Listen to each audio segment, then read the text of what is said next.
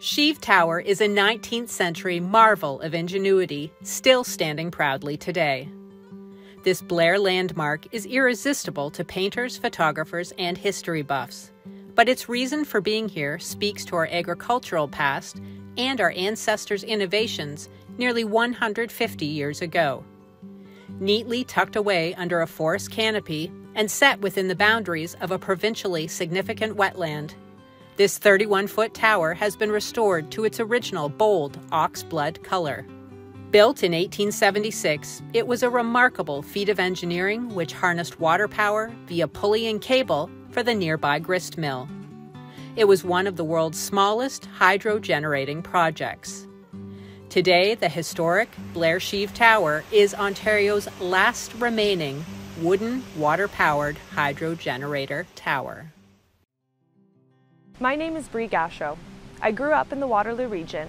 I've worked in the local heritage sector and I'm a past board member of the Architectural Conservancy of Ontario's Cambridge Division. I'd like to share with you why the Sheave Tower is important to me and share a little bit of its story. The Sheave Tower is located on Old Mill Road in Cambridge's Blair community. It's situated beside Bowman Creek and its mill pond. The province of Ontario recognizes this area as a provincially significant wetland. The tower houses a series of gears and shafts inside and was built by Alan Bowman in 1876.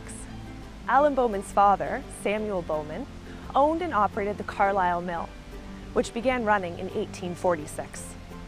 The flour mill was roughly 240 feet upstream from the tower, which was built to generate power for the mill. A high cable or belt was installed at the top of the tower and was connected to the mill. As water flowed from the mill pond through the sluiceway or channel it propelled the turbine, which then turned the sheave wheel pulley at the top of the tower, transferring energy to the belt, which generated power at the mill. This name, sheave tower, was derived from the sheave mechanism. This form of hydro-generated power was still in use at the mill until 1931.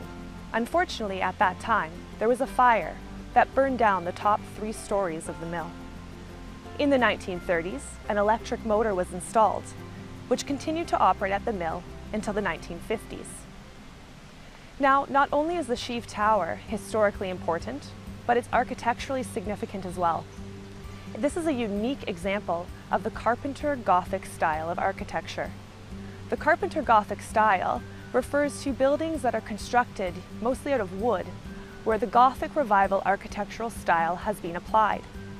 We can see with the Sheave Tower that we have a wooden frame structure, approximately two and a half stories high. It has a tapered shape, referencing that verticality of the Gothic Revival style. It's clad in board and batten with a cedar shingle gable roof. There's also pointed arch Gothic Revival windows on the south side of the building and on the lean-to. The Architectural Conservancy of Ontario, or ACO, holds the title to the Sheave Tower. The ACO is a provincial charitable organization that's dedicated to preserving the best of Ontario's built and natural heritage. The ACO Cambridge, the local branch of this provincial body, is responsible for the preservation and upkeep of the Sheave Tower. There's been many efforts to restore and preserve this tower over the years. Mill operations closed in 1954 and the Sheave Tower was neglected and fell into a state of disrepair. In 1988, the Sheave Tower was designated under Part 4 of the Ontario Heritage Act by the City of Cambridge and is listed on the city's Heritage Properties Register.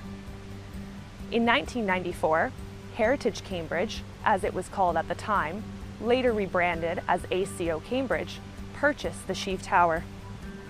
The Waterloo Region Heritage Foundation has also awarded numerous grants for the restoration and enhancements at the tower, including a footbridge across the stream.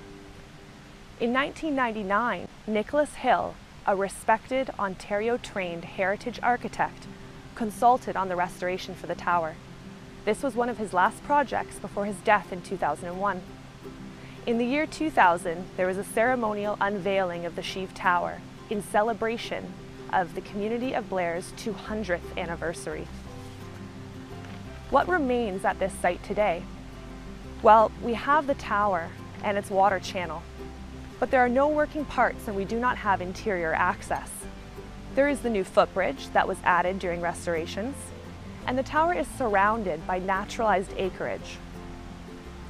Why would it be important to preserve something like the Sheave Tower today, you might ask?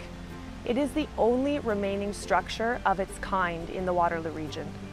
It represents a key aspect of the history of the milling industry in the area, which was important to the development of Waterloo region as we know it today.